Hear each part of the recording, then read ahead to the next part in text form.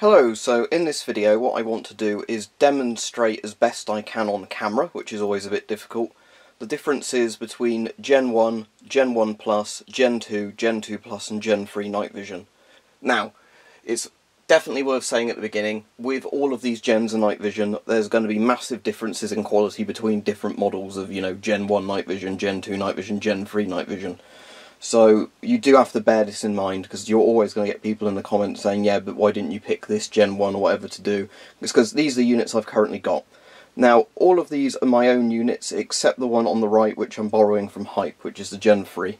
Um, just because obviously Gen 3 is a bit out of my price range, it's very nice to, for him to let me borrow it to do a videos with it, but you know. Um, you'll hopefully see in this video that if the camera shows it well, there isn't a massive difference between this particular Gen 2 Plus unit I've got and his Gen 3. Um, so anyway, what we'll go over is on the left at the top, I'll tell you what, I'll point all of these out so you can actually see, you know, people can't say, oh, but I didn't listen to what you said. Right, so this one is what's called a Cyclops, or a Cyclops one.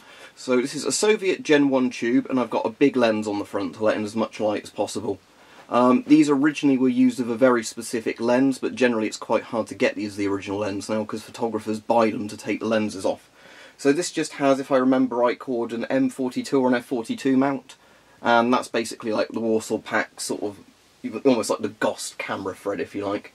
Um, so that's that. This is a Pulsar, which is a Pulsar Challenger, which is a Gen 1 Plus.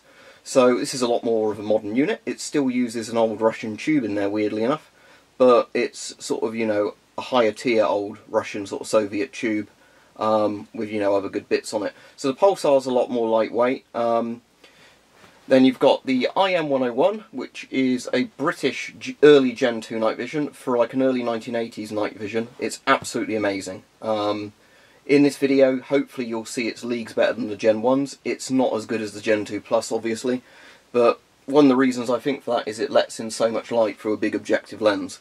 Um, it's also quite zoomed in, but this is sort of a really good night vision if you wanted to use one for stargazing, if you can get a hold of one. We've then got the Chinese NNVT tube in this, which is sort of a unit put together by Hype for me that I bought from him. And basically, a Gen 2 Plus is, you know, like how a Gen 1 Plus is better than a Gen 1, but not as good as a Gen 2 technically.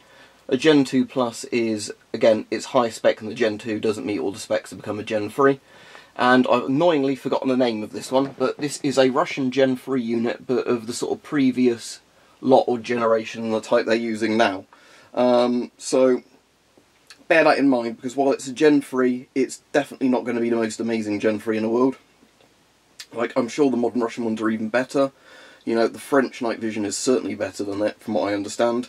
And with the American PVS 14s, um, you know, they they may be better, they may not be. Um, I've seen a lot of debate around that. Um, and one other thing I'm definitely going to show in this video as best I can. What we have here are two infrared torches. This one is in 850 nanometer, I believe, and this one is 940 nanometer. The reason being I want to demonstrate that not all night vision sees across the infrared spectrum in the same way.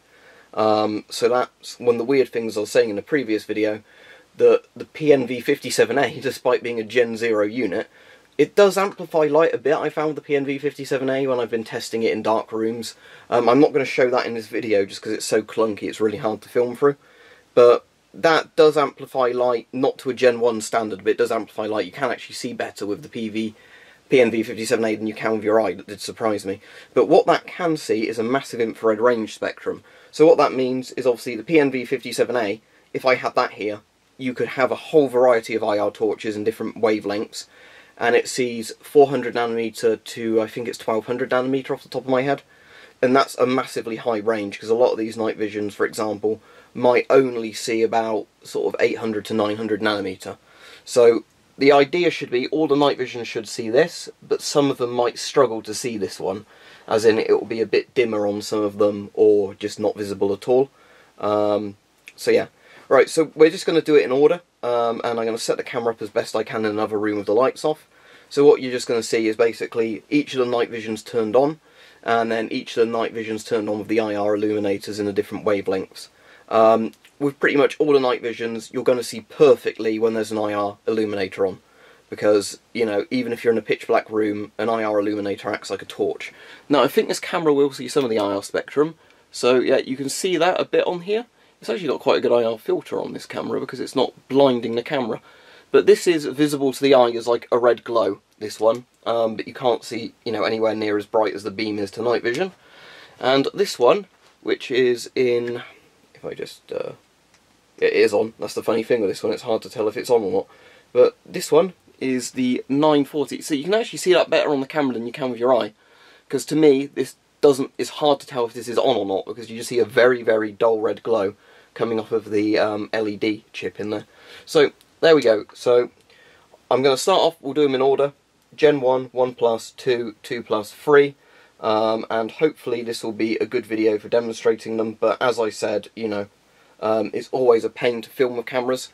I'll be just so everybody knows I'll be setting the camera camera to sort of manual focus and manual exposure and everything like that. So it should make the results um, sort of more similar across the night visions you know. So one of the units doesn't look better or worse than it actually is to a much bigger degree if the camera decides to dampen the brightness or something because it thinks it looks too bright. So anyway we'll be doing the um, Cyclops first then the Pulsar Challenger, then the IM101, then the Chinese NNVT tube, and then the Russian one where I've sadly forgotten the name of it, but I'll put it in the description. Right, I'm going to attempt to show you this as best I can. So first, we have the um, Gen 1. Now, I'm going to be completely honest, even with my eyes, I can't really see through this at the moment. So let's turn on a illuminator, and that looks better. Right, there we go. Right, I don't think the camera is going to film through this very well.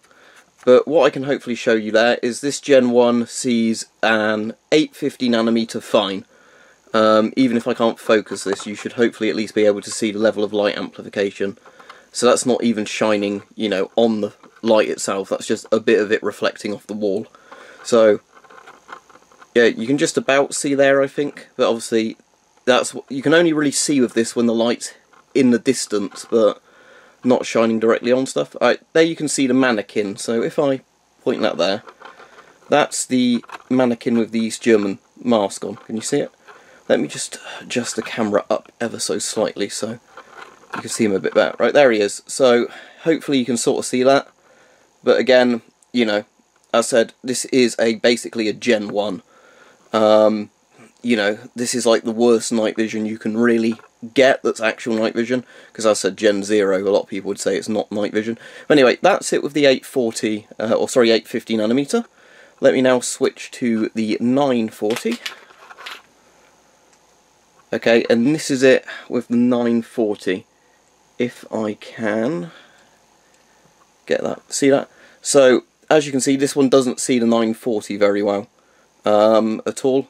You know, it, it can see that there's IR light, but it can't really make it out very well. So there you go, that's this one.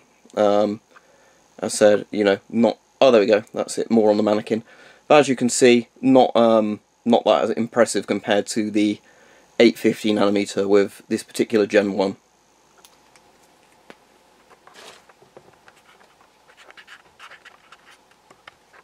Right, now for the pulsar. Now, again, I can actually now with this one very vaguely see the outlines of things in the room with this, but I don't think it's really showing up at all to the camera. So what I'm going to do is first use the 840 nanometer again. So what we're going to do now is get this in front of the camera. And what you should hopefully see now is, yeah, you can see the mannequin pretty clearly there. It's actually a bit too bright.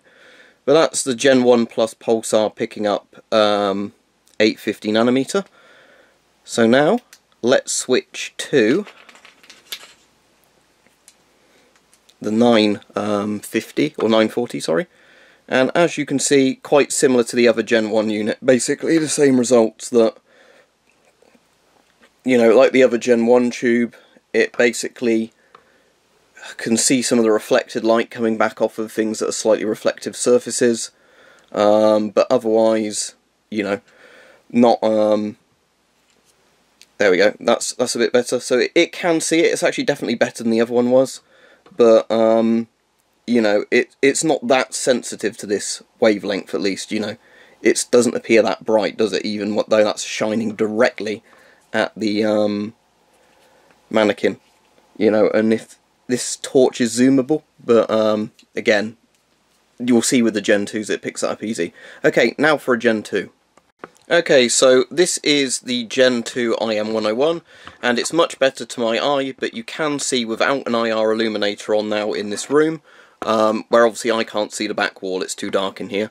But with the night vision, a Gen 2 unit should be able to basically see, if I can get that back in frame, you know, at least make out shapes pretty well without an illuminator in a pretty dark room. Um, so there's that. Now, if we go to both the flashlights again, first, or do them in the same order, first the 840, uh, as you can see, that's very bright. Um, I'll tell you what, I'll shine these for the better units, because I don't want to risk damaging them.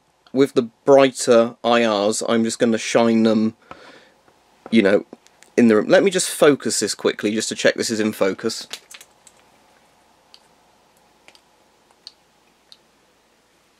Right, I've got this slightly better in focus now. Um, but again, you know, like I said, that that's so that's it again with no IR illuminator on. It's very difficult, annoyingly, to hold these and film at the same time. I've got the camera on a tripod, but obviously the night visions aren't. So that's the IR. So anyway, you can see how bright that is. I'm not going to go over the top of that one. Now for the 940. And that's, although that's a bit dimmer to this one, that actually kind of works better because it doesn't over brighten it. So yeah, you can see the um, uniform there. Right, now to Gen 2 Plus, this is where it starts getting really exciting. Okay, so here we have a Gen 2 with no infrared illumination. Now, I think the camera's focusing differently to my eye with my glasses here, because this is a much better picture to um, my eye. But, yeah, it's the camera doesn't really want to focus on the night vision, unfortunately, because that is in focus for the camera. I'm just going to get that again and double check the focus. I have actually managed to defocus it a bit now. Right, that's that in focus. Right, that should be very much in focus now, if I can get it back over there. So yeah, the problem here is actually just the camera um, focusing on it.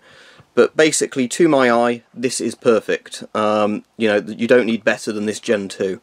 Um, the light you can see there is, I think, a tiny bit of light coming through a crack in the curtain somewhere and then shining onto that wall because the curtains are actually there. So that's quite interesting because there's not an infrared illuminator on at the moment. Um, but obviously some of the surfaces in here are reflecting light off of them, which you wouldn't really see with your you know normal eye. But see if I just get that there. So again, this this is kind of let down by the camera here, even though I'm using a really good camera to show you this, just because of the fact that, you know, as said, it the camera doesn't really want to focus, and again, that's the camera at fault here, not the night vision, because, you know, if I put this up to my eye, I can see very clearly. So, to give you an idea, with this Gen 2 Plus, I can see everything in the room. Some bits of the room are fuzzier, you get quite a bit of scintillation with this unit um, when it's this dark, but otherwise you can see fine. So the point is, maybe I can demonstrate that there, that although the camera doesn't want to play ball, you know, you can... Um, tell you what I'm going to do, I'm going to put the camera back onto automatic just to see if it shows you this night vision as good as it should. Okay, so yeah, this, this works a lot better with the camera in this setting. So, you know, you didn't really miss out with the other night visions, because as I said, the, the first time you'd have seen anything, um, without an IR illuminator was with that IM101 and that was still very fuzzy without the illuminators. But as you can see there, um, now the camera is actually focusing properly through the night vision. Um, that should give you a really good example of what a Gen 2 um, Gen 2 Plus behaves like in a very dark room. So you can see the scintillation there, but the point is, yeah, you're never going to see that with your eye, are you? I can't see that mannequin back there. Um, so a camera, normal camera certainly can't, but yeah, the Gen 2 can see it pretty damn clearly. Sorry, the Gen 2 Plus. So the Gen 2 IM101 can basically make out the outline of the figure, but you can't see detail very well, it's very fuzzy. Um, this obviously has some fuzziness and scintillation, but overall, you know, you can look around the room and spot stuff. You can see there's a camo coat up there. You can see the East German sort of guy. You can see where there's a bit of light reflecting off of um, that picture there. So I'm going to be very careful with the IR lights now. So anyway, what I'm going to do is let's swivel this round to about here. Um, tell you what, let's let's just focus this one in on the storage boxes that are a bit closer up. Actually, no, they're plastic. They're going to reflect the light. I was trying to think if there's much here that I can shine where there won't be any light reflection, because obviously the field of view on this is wide. Right, let's just focus on the camo coat. So anyway, first we'll do it again. The 850 nanometer, as you can see, shows up perfectly well. That's really clear as a day now, isn't it? With that, right now for the 940. And as you can see, it can see the 940 just as well as it can see the 850. This is apparently an issue where some Gen 3s aren't as good at seeing the infrared range. So bear in mind, funnily enough, my Gen 0 is still the best device I've got for seeing the big infrared range. You can also see the bright source protection in um, action here, how it sort of fades the brightness down when it sort of gets a bit of light reflect back at it. Again, you don't want to test that on purpose with night vision, but it's a good feature to have on there to stop burning out the tubes. So yeah, there you go. That's that's the um, Gen 2. So again, with no IR illuminator, quite a lot of scintillation going on, but you can make out what you're looking at. With IR illuminators, you know, much easier. Right, now for the Gen 3. But with the Gen 3, I'm going to be very, very careful, because obviously, as it's not my night vision, um, basically I'm going to have to, when I turn the IR on, I'm going to have to be very, very careful how I aim the sort of IR torches. I might just aim them at the floor, so you can only just see the IR bounce off the carpet.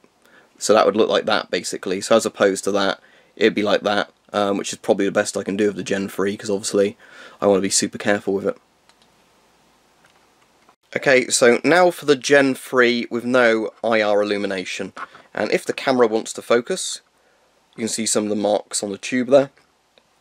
They're not actually blems on there, that's, um, there you go, now it's focused, you can see there's no blems. What those are are the um, just I think there's a little bit of dirt on the lens, I'll give that another clean. But as you can see, a Gen 3 is pretty damn amazing, even this is a basic Gen 3. With no IR illumination, you know, in a very dark room, you can see how well it performs.